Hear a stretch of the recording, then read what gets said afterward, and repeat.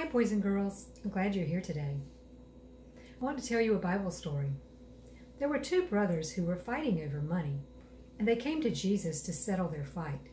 But Jesus wouldn't do that for them. Instead, he told them some stories. He told them about a man who had a field with good crops, and there were so many that he wanted to build a big barn and save them all so he wouldn't have to work the rest of his life. He could just have everything he needed right there but he didn't want to share with anyone. Jesus told him not to worry so much about money and about things. He said, Look at the flowers. Can you see my flowers? Do you think the flowers worry about where they're going to get clothes or where they're going to get food or what's going to happen to them? No, they don't worry about that, do they? Think about birds. Do the birds worry about those things? No, because God takes care of the flowers and God takes care of the birds. I have a song about that.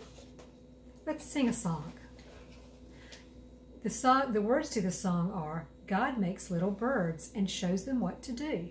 God loves little birds. He loves me too. And Jesus was telling these men that God takes care of us. And if he, you know, if he takes care of birds and flowers, he will really take care of us. Here's my song.